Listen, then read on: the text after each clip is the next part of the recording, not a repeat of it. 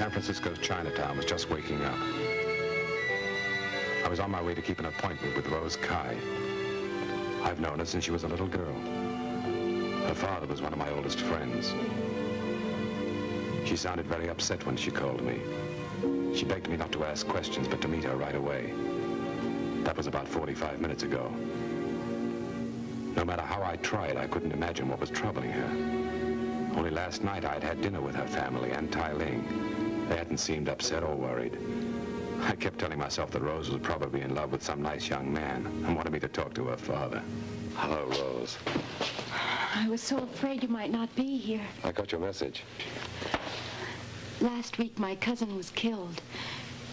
Two days ago, my brother was killed. I'm sorry. How? I don't know. But I saw Tai Ling and your father yesterday. They didn't tell me anything about it. We're told not to ask questions, nor to tell anyone. They need your help. Only don't tell them I told you. No, I won't.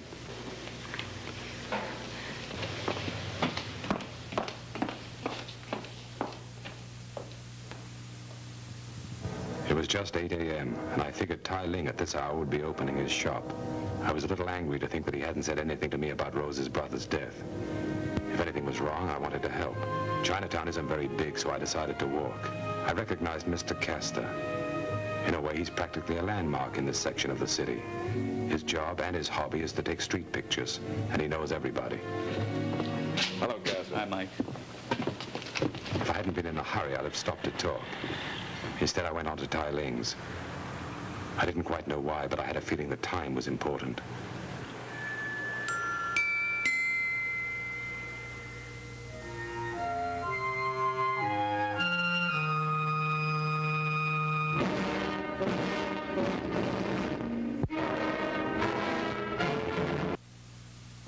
Mike, Darling. I want you to meet Mr. Frank Parker, Mr. Lanyard. Hello, Parker. I, uh, I have a meeting. I have to be leaving. Glad to meet you, sir. Thanks. Won't you sit down? Who's Parker? He's a good friend of ours. He's our attorney. I'll send for some coffee. Now, don't bother. When I saw you yesterday, I asked you a simple question. You lied to me. I lied to you. Yes. I asked you how things were going, you said great. Well, there are some things I can't complain about. Your nephew was a friend of mine. I was shocked to hear he was killed. Why didn't you tell me? There are times, Mike, when one finds it necessary to be silent. Rose's brother was also a friend of mine. I wasn't invited to the funeral. Why? I wish you wouldn't ask me any more questions. At the moment, I can't answer them. Yeah, I think I understand. You don't trust me. That's not the reason. What is the reason, then? I'd like to tell you, but I can't. If you wanted to, we wouldn't be standing here playing chess. But it wouldn't be fair to you to involve you. Let me decide that, will you? Two weeks ago, my son was struck down with a hatchet. As you already know, Rose's brother and cousin were killed. Any one of us might be next. A society calling themselves a Tong has been formed. We do not know who is its leader. They want weekly payments from us, and if we do not join and pay them their dues each week, we will all be killed. Sounds like Chicago in the 20s. We must settle this problem ourselves. We cannot go to the authorities, at least not yet. I don't agree with you. We must not attract the wrong kind of attention. If it should get into the newspapers, there would be the old cry and fear of Tong. Because of ignorance, people have been misled by this word. A Tong was merely a society. Families belonged to them. Oh, it's true, in the old days, some of the Tongs fought with each other, but that's in the past. Have you any idea who's behind all this? We see a man who comes into the store to collect the money. So far, we have refused him, but it has been costly. Is he from San Francisco? I've never seen him before. All I know is his name, Chang.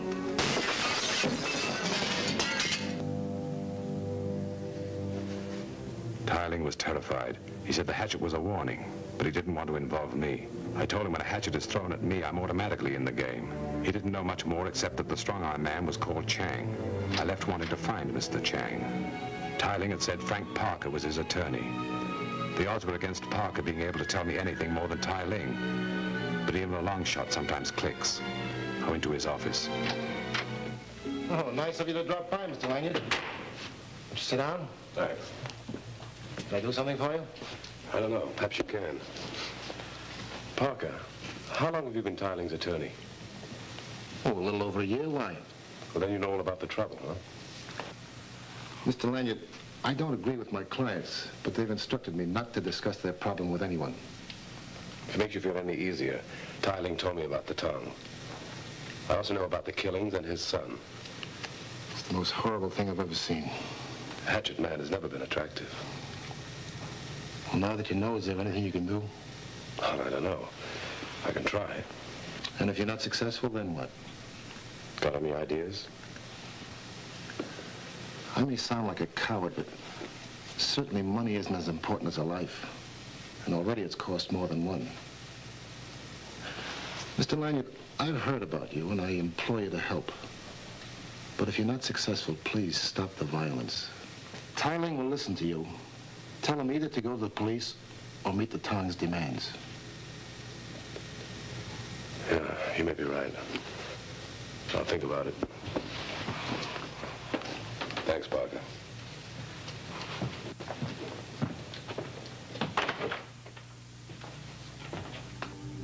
When you live around violence, you develop an instinct. I had a feeling I was being tailed. I couldn't spot anyone in particular, so I headed into one of the many alleys. I didn't hear or see the silk cord. I only felt it tighten around my throat. The feeling didn't last long because everything went quiet and black.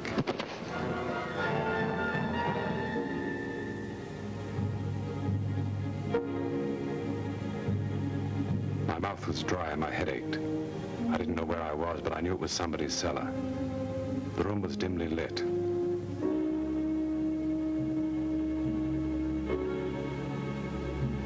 The only window was too high for me to reach. Then I saw it. For a second, my breath stopped. I don't know how long the snake had been in the cellar with me. I knew only that I wanted out. I moved for the staircase. The snake headed for me.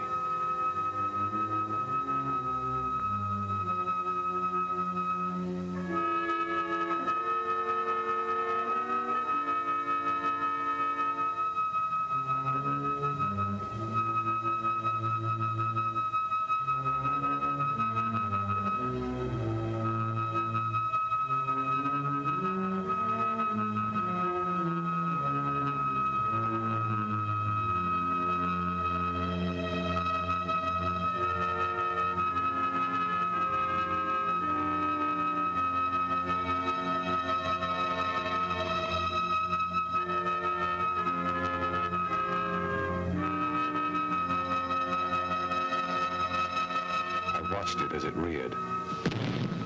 Tried breaking down the door.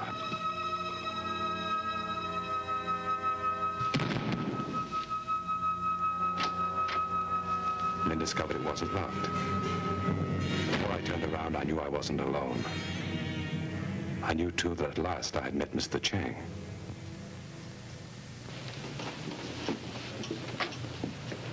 What's the matter, Lanyard? Didn't you like your companion?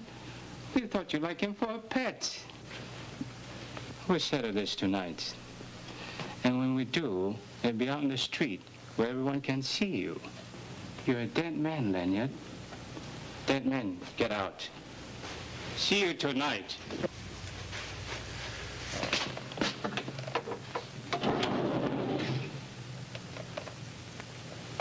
Maybe I'll see you before then.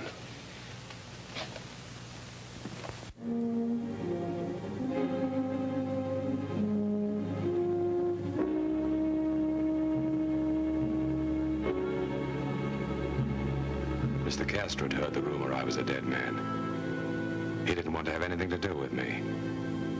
He didn't have very much choice. A few seconds later, he was sure that my hours alive were limited. The hatchet had missed me by not more than a couple of inches. I'll never get hungry again, so heaven help me. No more shortcuts.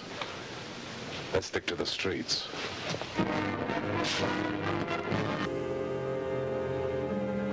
Wanted to see every photograph that he'd taken for the past two weeks. We headed straight for his studio. I kept watching the people as we passed. I was trying to figure out who was behind this whole operation. I couldn't forget the fear of my old friends. I looked at Castor. He was no different, just plain frightened. Under different circumstances, I would have been highly amused. Castor's studio was decorated like a Halloween witch's hut. Castor was truly a strange little man. I happen to be fond of Halloween. I don't know how much this will help you, but here are all the pictures I've taken the past two weeks. Thanks. I'll never understand you. Why? What do you get out of this? What do you get out of taking pictures? Okay. Only I'd rather live my way. Who is he? How would I know? He didn't send for his picture. Everybody in town knows who he is. Quit stalling. I'm a middleman. I never take sides. I got news for you. You're on my side. Why don't you try the Hong Hong Cafe at about five?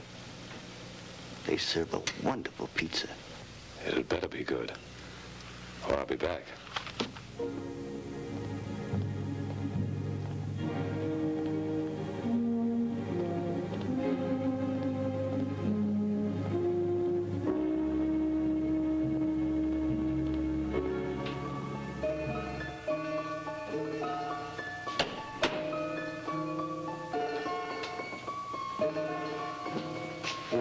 Please.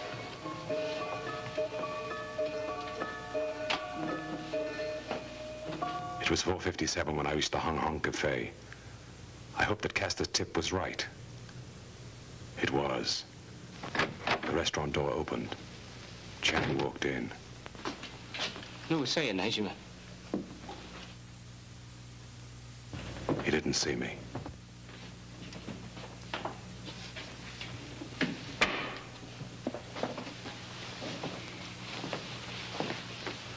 Got any peanuts? Mr. Chang was going to have a visitor. He was going to get some very special treatment, and I was going to enjoy it. You want me to wait for you? Okay, boss. Right. I'll wait here.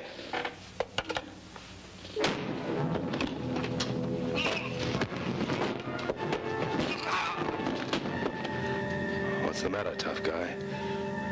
Did you miss not having your boys around? What do you want? Answers, and lots of them. I don't know. Nothing. No? Let's start from the beginning.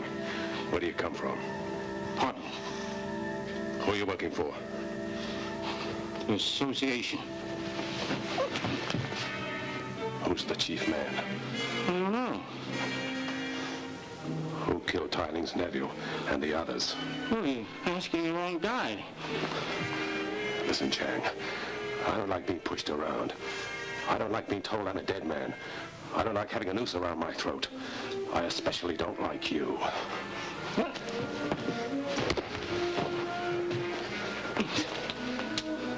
Here we go.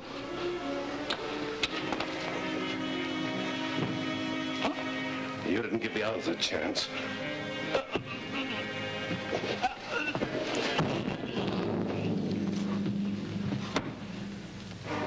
It was now only a question of waiting. It was almost over. Chang had been talking to the head man when I came in. He was on his way over. Soon I'd have all the right answers. Frank Parker. This is a surprise. You been waiting long? Not too long. Oh, it must have been quite important. I came as quickly as I could. Your phone must have said to hurry. Who do you think you're kidding?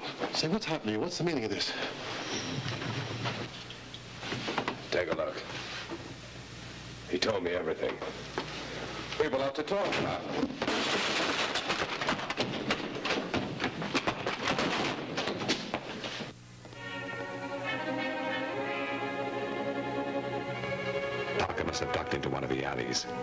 Gone far.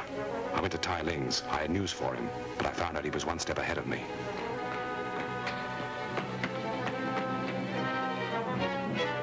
You need not worry. Frank Parker will never get off the streets. What fools we've been. You were holding out on me. Mr. Castor was in the alley. He saw you and Parker in back of the Hong Hong Cafe. We have surrounded the area. We will take care of it. Let me take care of him. My son died an hour ago. You said you didn't want to attract attention. The wrong kind. Don't do it now. We will turn him over to the proper authorities. That's your intention. But you can't trust any kind of a mob. They might lynch him. We know what we are doing. I don't think you do. If something goes wrong, you may put your people back 50 years. Frank Parker's not worth that much. Friday, Friday.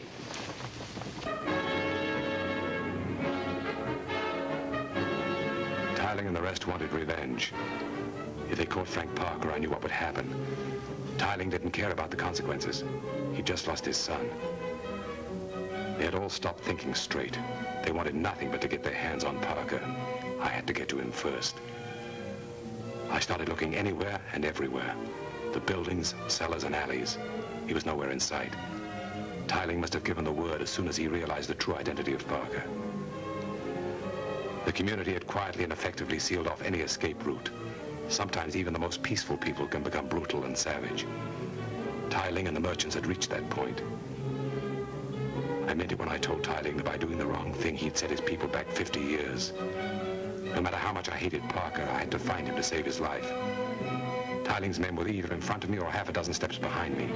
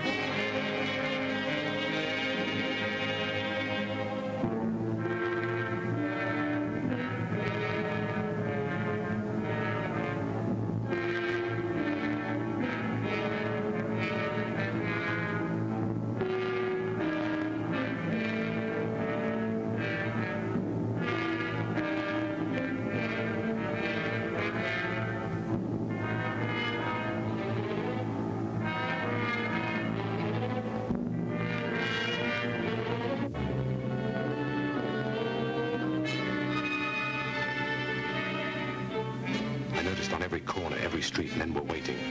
They weren't attracting any attention. The town was doing business, people were casually shopping, yet no animal was ever hunted with more care. A long time ago, I learned that when a crowd is noisy, you can quiet them. But when men are silent, anything can happen.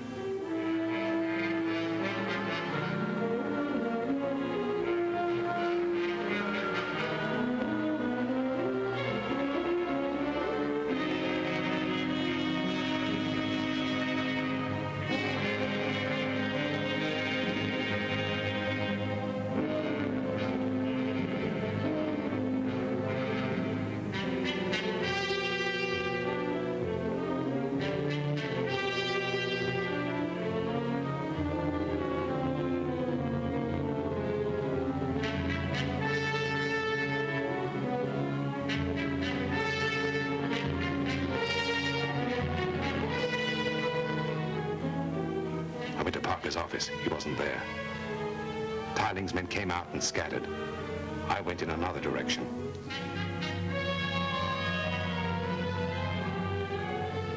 Then I saw him. He was lucky.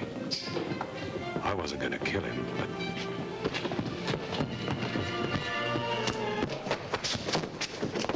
Wait a minute, wait a minute. You got nothing against money, have you? I live much better with it, if that's what you mean. I- I've planned this thing for a whole year. Play ball with me and I'll cut you in for half. We'll make a fortune. Who else is involved in this? I got a couple of guys working for me, but I, I pay them off late at night. Look, they, they, we can clean up. Who spotted me this morning? I did, don't you understand? I have no partners. We'll cut 50-50. Who threw that axe at me? Chang. Did he kill Tai Ling's nephew, too? Yeah, yeah, look, there's just the two of us. There's plenty for both of us right down the middle. Oh, I've seen some rats in my time, but you top everything.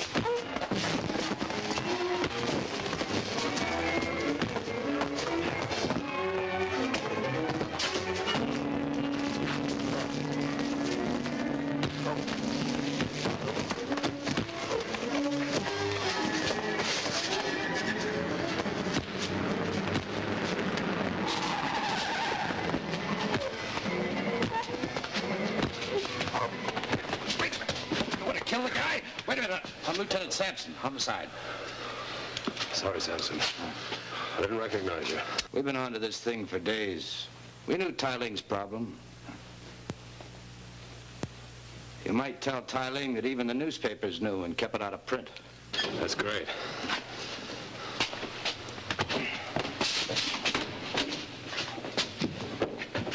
Oh. I think this is yours. Thanks. We got off Chang.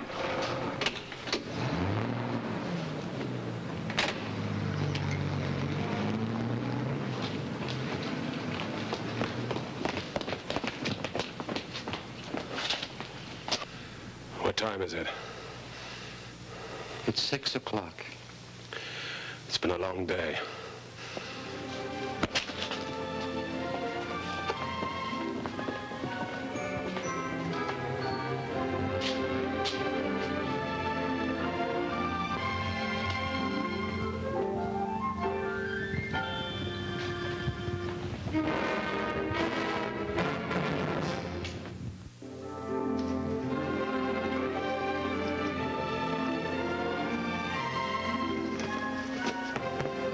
Castor. What are you doing here? You come to see me off? I have been designated as a delegate. It's a gift from Tai Ling and all the others. Well, they didn't have to do that. Tell them I appreciate it, will you? It's worth a lot of money. Say, maybe you have a way of living that's not so bad after all. Know, Castor, you and I have one thing in common. If we had our way, every day would be Halloween. Thank you.